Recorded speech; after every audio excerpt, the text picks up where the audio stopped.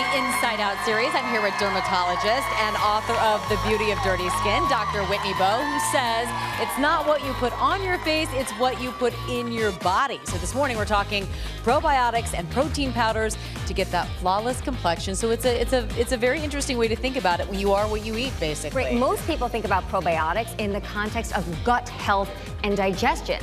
But promising new studies show that they might also play a role not only in our overall health, but in the health of our skin. So the way I think about it, it's all about the balance of bacteria in our guts. So really, you want to maintain this delicate balance because if one bug starts to overgrow and dominate, that can cause problems. Now, our diet, the supplements we take, they can all affect this delicate balance. And our goal, Amy, is to boost the number and diversity of bacteria okay. and starve those bacteria that might be starting to take over. All right, so what do you look for when buying probiotics? There's right. a lot on the market. Not all probiotics are created equal. Different strains serve different purposes, and some probiotics are simply more effective based on the way that they're formulated. So based on my research, based on my knowledge, there's some key elements to consider. So first has to do with diversity. So I always say the more strains, the better. I tell people to look for strains, probiotics, probiotics that contain more than 10 strains. Okay. But the other thing to keep in mind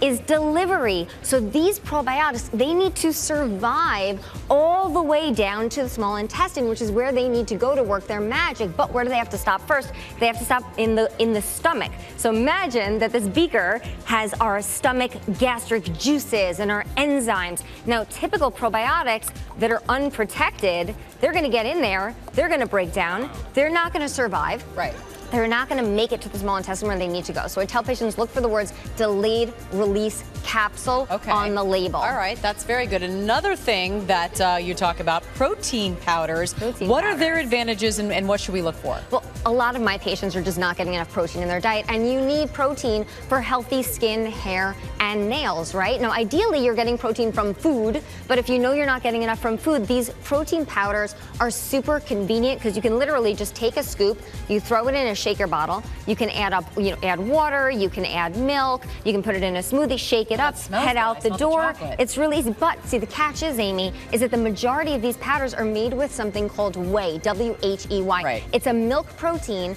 and small studies have linked it with acne and inflammation okay, in the so skin. you got to be careful what's in these proteins. I say toss the whey and go for the plant-based protein powders. Great advice. Dr. Whitney Bowe, thank you.